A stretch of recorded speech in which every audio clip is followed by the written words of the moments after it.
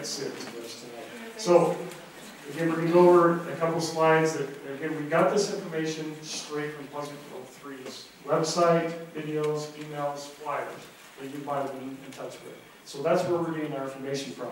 And where we're drawing the facts or line by line items is straight from the budget, from Pleasant Grove's uh, budget. And so that's what we're gonna touch base on tonight.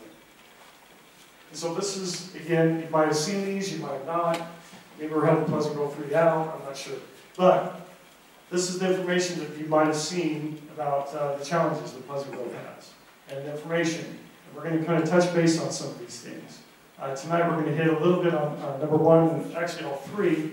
But over the past 10 years, the cost of providing services rose 86, I'll just round it up to 87%, even though Pleasant Grove's population only increased 12, 12%.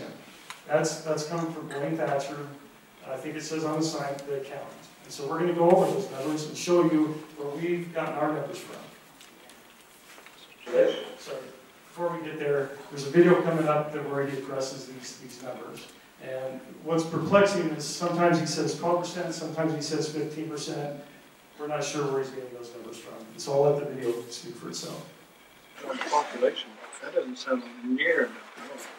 Well, as, I came to work for the city, the population was 21 no, but, 35. but if you look at the population numbers published in the audited financial statements of the city, in the last 10 years, we're somewhere in that 15% population growth range.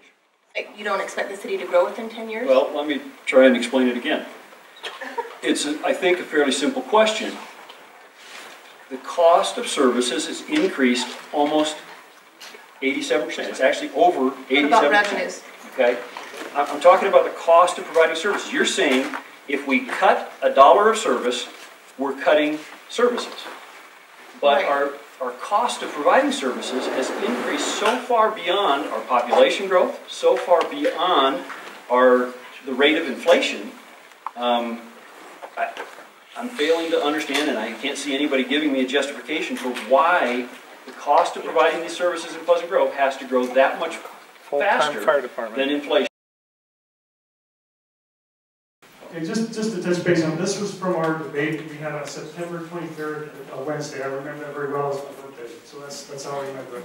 I was having fun with that. Um, So he touched base a little bit about uh, services increasing, but the population hasn't. And so we're going to flip to the next slide here and talk about it. Pleasant Grove 3 myth. Over the past 10 years, Pleasant Grove's population has only increased 12%. At the debate, Blaine said 15%. So again, we're not sure about his numbers. He's the accountant, and he can't agree on one of those numbers. What we've done is we went according to U.S. and Utah state governmental statistics over the last 10 years, Pleasant Grove's population has increased almost 30%.